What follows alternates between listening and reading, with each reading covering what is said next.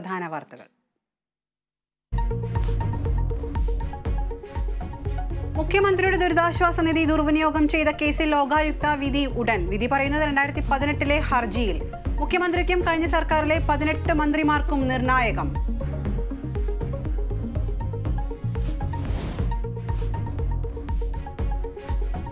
കണ്ണൂരിൽ പോലീസും മാവോയിസ്റ്റും തമ്മിൽ ഏറ്റുമുട്ടൽ. തണ്ടർ ബോൾട്ടിന് നേരെ മാവോയിസ്റ്റ് വെടിവയ്പ്. മാവോയിസ്റ്റുകൾക്ക് വെടിയേറ്റതായി സംശയം. വെടിവയ്പ് അയ്യൻകുന്ന് ഉരുപ്പം കുറ്റിക്ക് സമീപം.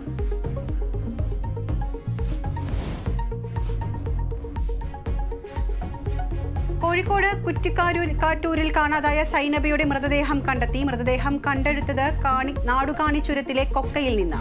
സൈനബയെ കൊന്നതാണെന്ന മൊഴി നൽകിയത് താനൂർ സ്വദേശി. എന്താണ് സംഭവിച്ചതെന്ന് അറിയില്ലെന്ന ഭർത്താവ് മുഹമ്മദ് അലി.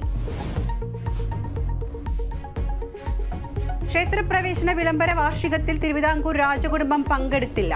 തീരുമാനം പരിപാടിയുടെ നോട്ടീസ് വിവാദമായ സാഹചര്യത്തിൽ.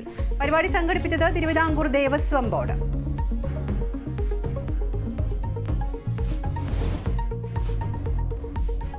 സംസ്ഥാന സർക്കാരിനെതിരെ വിമർശനവുമായി കേന്ദ്രമന്ത്രി വി മുരളീധരൻ. ധനപ്രതിസന്ധിയിൽ കേരളത്തിനെതിരെ നിരത്തുന്നത് കള്ളക്കണക്ക്. മുഖ്യമന്ത്രിയും ധന ധനമന്ത്രിയും പറയുന്നത് വ്യത്യസ്ത കണക്കുകളെന്നും മുരളീധരൻ. ഗാസയിൽ ആശുപത്രിക്ക് നേരെ ആക്രമണം തുടർന്ന് ഇസ്രായേൽ. അൽഷിഫ ആശുപത്രിയുടെ പ്രവർത്തനം പൂർണമായും നിലച്ചെന്ന ലോകാരോഗ്യ സംഘടന. മുപ്പത്തിയേഴ് നവജാത ശിശുക്കളടക്കം അറുന്നൂറ്റി അൻപത് രോഗികൾ മരണമുഖത്ത്.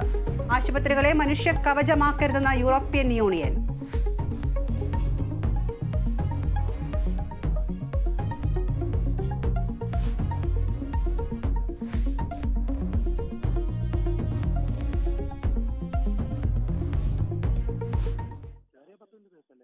കേന്ദ്രമന്ത്രി വി മുരളീധരന്റെ പ്രതികരണത്തിന് മറുപടിയുമായി ധനമന്ത്രി ഇപ്പോൾ മാധ്യമങ്ങളെ കാണുന്നുണ്ട്. തത്സമയ ദൃശ്യങ്ങളിലേക്ക്.